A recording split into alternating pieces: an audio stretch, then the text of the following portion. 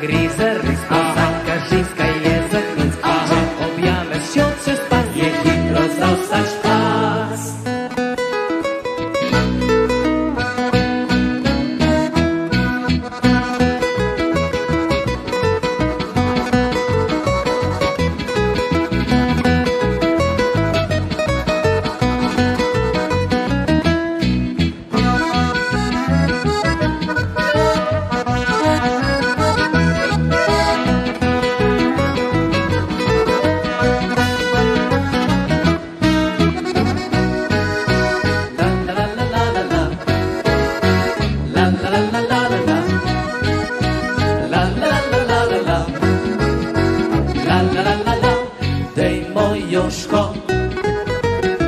se špara, periodično in zavriskaj, kar se da na glas.